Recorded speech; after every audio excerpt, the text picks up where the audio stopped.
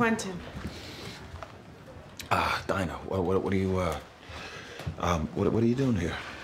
Oh, um, I'm heading back to Central City. Gotta get back to my job, my life. Yeah, it sounds like you got a lot going on back there. Yeah, I do.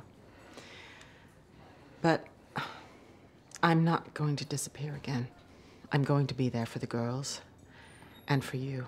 I promise. I'm so sorry about how you found out about Jeff and me. Ugh, let's forget about the whole dinner thing. I, I don't know what I was thinking. Well, you were thinking that there was still a connection between us. And there is. There always will be. You were my first love. You are the father of my children. And last year, you helped me forgive myself for letting Sara go with Oliver. Help me give myself permission to live again. And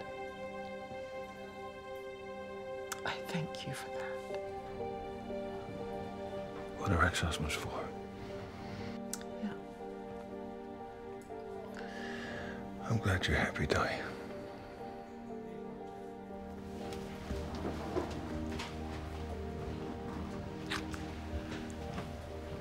You make yourself happy too, Quentin.